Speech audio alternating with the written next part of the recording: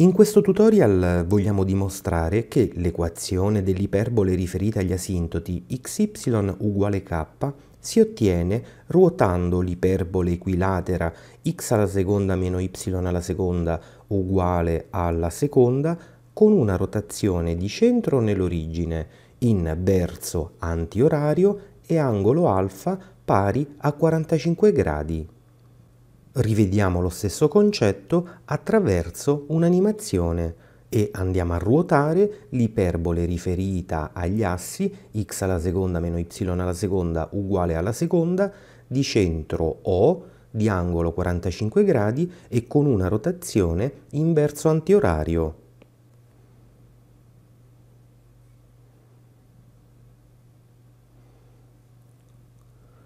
Otteniamo l'iperbole riferita agli asintoti xy uguale k.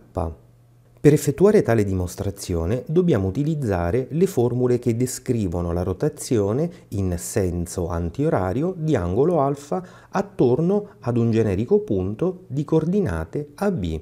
Le formule sono le seguenti. Nel nostro caso il punto AB centro della rotazione risulta essere l'origine 00 e l'angolo alfa risulterà essere pari a 45 gradi. E allora in questa formula al posto di A e B sostituiamo 00 e al posto di alfa sostituiamo 45 gradi. A partire da questa formula si ottiene x' uguale x per coseno di 45 gradi meno y seno di 45 gradi e per y' x seno di 45 gradi più y coseno di 45 gradi. Tenendo presente che il seno e il coseno di 45 gradi sono pari a radice di 2 su 2, sostituendo si ottiene questo nuovo sistema. Dobbiamo ora esplicitare x e y in funzione delle nuove coordinate x' y'. Per far questo fisso l'attenzione sulla prima equazione. Porto radice di 2 su 2x a primo membro ed x' l'ho portato a secondo membro.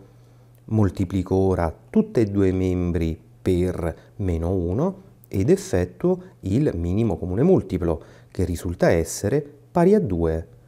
Semplifico i due denominatori ed ottengo radice di 2x uguale 2x' più radice di 2y. Ora vado a dividere tutti e due i membri per il coefficiente di x, che è pari a radice di 2.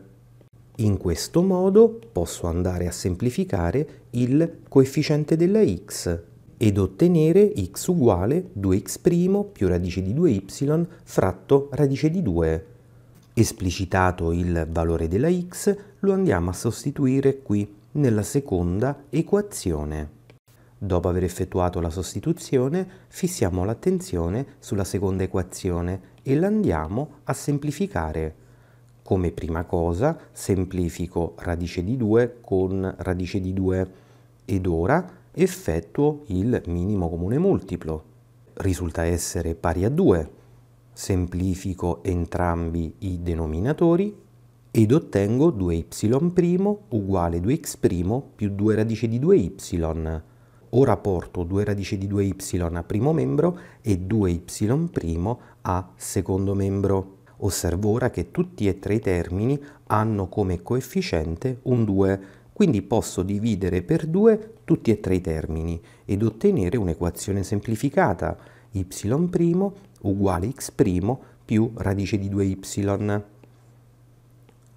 Porto ora radice di 2y a primo membro e y' a secondo membro.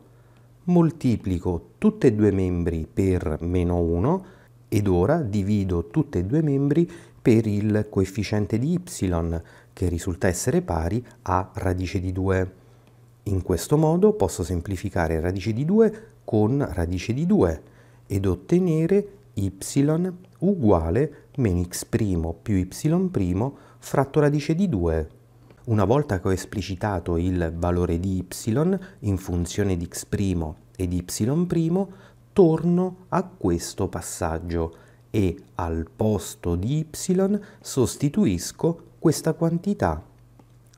Osservo ora che x risulta essere espresso in funzione di x' e di y'. Come prima cosa semplifico radice di 2 con radice di 2 e poi vado a sommare 2x' con meno x'. In questo modo ottengo che x risulta essere uguale ad x' più y' fratto radice di 2 ed y' risulta essere uguale a meno x' più y' fratto radice di 2. Una volta che ho esplicitato x ed y in funzione di x' ed y', vado a sostituire nell'equazione dell'iperbole equilatera x alla seconda meno y alla seconda uguale alla seconda, ossia al posto di questa x sostituisco questa quantità e al posto della y sostituisco questa quantità. Ottengo un'equazione in x' ed y' che adesso vado a semplificare. Come prima cosa dovrò svolgere questo quadrato di binomio e questo quadrato di binomio. Per quanto riguarda la prima parte ho sviluppato il quadrato del primo, il doppio prodotto e il quadrato del secondo e radice di 2 alla seconda risulta essere pari a 2.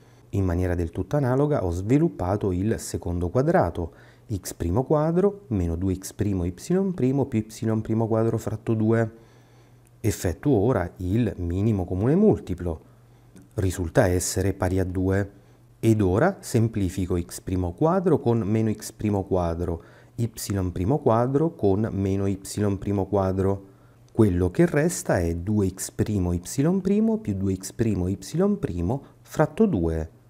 Sommo ora questi due termini ed ottengo 4x' y' fratto 2. Semplifico ora 4 con 2 ed ottengo 2x' y' uguale alla seconda. Divido infine tutti e due membri per 2 ottenendo x' y' uguale alla seconda fratto 2.